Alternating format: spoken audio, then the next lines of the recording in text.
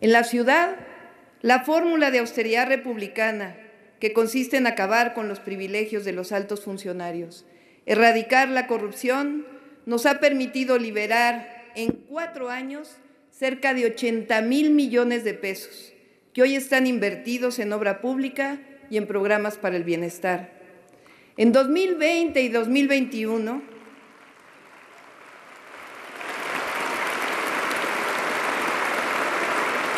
por la crisis económica asociada a la pandemia, cayeron los ingresos del gobierno en cerca del 10%.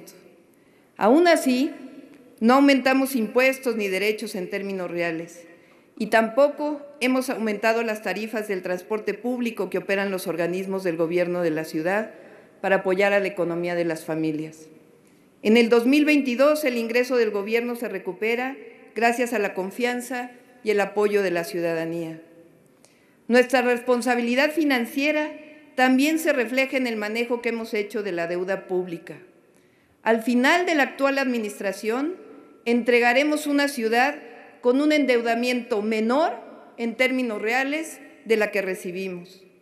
Este manejo responsable de la deuda ha recibido el reconocimiento de la Secretaría de Hacienda y Crédito Público, de la agencia calificadora HR Ratings, que el pasado noviembre nos colocó como el gobierno subnacional mejor evaluado en toda América Latina en el manejo responsable del endeudamiento público.